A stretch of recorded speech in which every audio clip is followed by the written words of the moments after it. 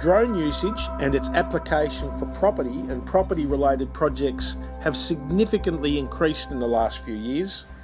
Drones are being utilised across many varied sectors and they are bringing positive change as a new tool within the workplace practice and delivery.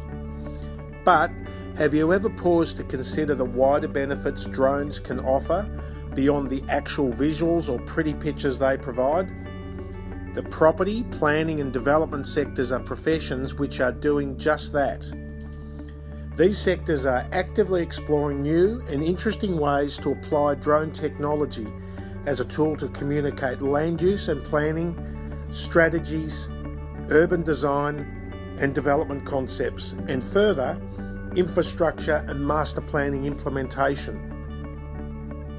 They are even taking it a step further by fusing drone footage with animated simulation to bring projects to life enabling not only viewers with project visualisation, but also providing viewers with the ability to demonstrate project opportunities and actual potential. Animated drone footage is being used in planning scheme amendments, development plan applications, in client proposals, and government submissions. It is really helping to influence critical decision making process and to gain support for a strategy and even streamline an overall approach.